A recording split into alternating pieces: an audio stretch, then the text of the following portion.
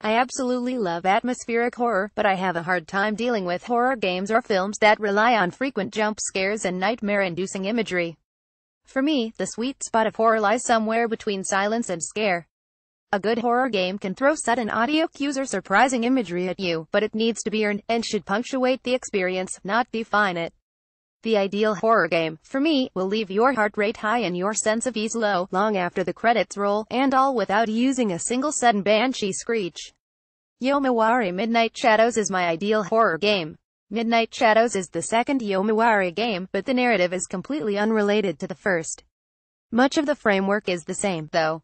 YUI and Haru are best friends watching a fireworks show at night, but when YUI goes missing on their walk back home, Haru has to explore the town to find her. Unfortunately for Haru, this small town is not inhabited by family or neighbors at night, but by a bevy of twisted, disturbing spirits looking to devour Haru at every turn. I was so happy to see Midnight Shadows would be arriving on PS4, because the experience feels so much richer and more immersive on the big screen compared to the Vita. The Yomawari games use a cutesy, chibi art style to render the characters, but everything surrounding them has a deep, haunting beauty to it that instantly tells you this world is anything but cute.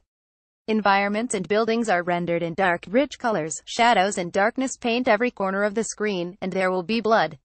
You'll explore these unnerving environs in a top-down adventure game style, aiming to track down items and solve puzzles in order to progress the story and locate your best friend. Along the way, you'll encounter a huge variety of ghostly entities out to end your life, from giant whale heads to creepy children and more.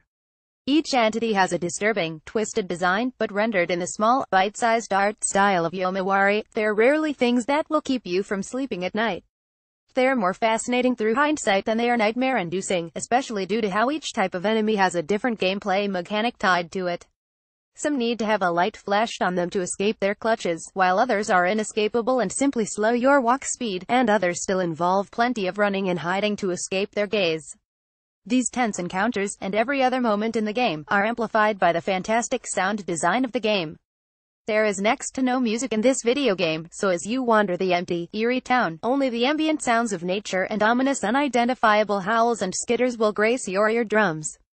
There's something so disturbing about a stylized, hand-drawn game using very realistic and natural sounds in it, from the pitter-patter of feet to the howls of monsters or the jangling of coins, it all serves to amplify the sense of dread and unease you feel when playing.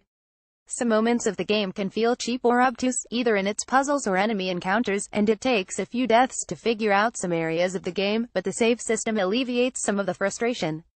By offering a coin to a Jizo shrine, you can save your game, and upon death be transported back to your last shrine, as well as use them for fast travel.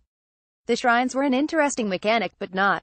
Having the ability to simply save your progress and stop playing whenever you wanted felt a little inconvenient to me at times. Midnight Shadows is a short game. It's long enough to take an afternoon or two, but not so short that you'll feel like something was missing.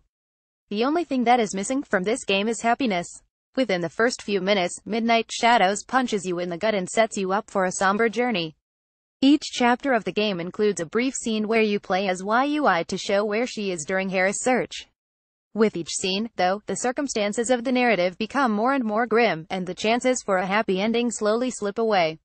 The first game left you on a bit of a sweet note, rewarding your journey after all the despair you went through.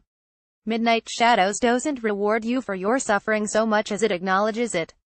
This is a sad, dark game, with only the faintest bittersweet taste at the end.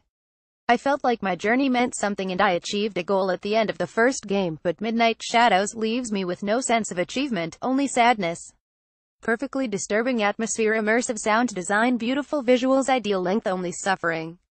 Wish I could save more frequently a handful of obtuse puzzles enemy encounters It's been hard to find horror games that scratch my itch to be disturbed without catching me with cheap scares or leaving me with weeks of nightmares.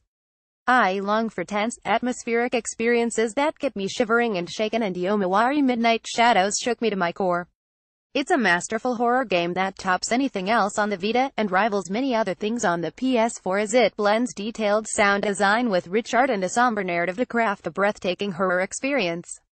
Some puzzle segments can be obtuse, and the ending lacks the same sense of accomplishment of the first game, but despite all that, Yomawari continues to perfectly define horror. Score 910